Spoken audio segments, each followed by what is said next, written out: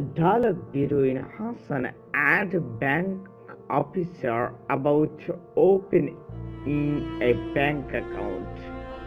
Start. Excuse me, I would like to open a bank account.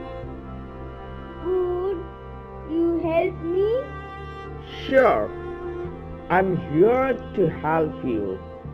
Is it for yourself or anybody else? For myself. My name is Hassan. Do you want to open a saving account or a business account? I like to open a savings account. Here is a printed form.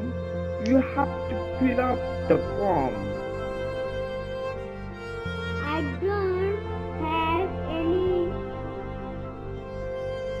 Introducer here.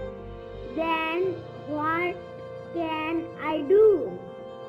If you have the national ID card with you, I can be your introducer. Thank you. How much should I deposit for the first time?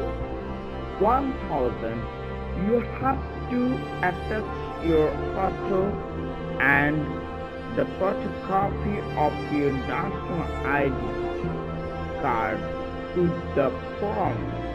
Thank you for your help. Welcome.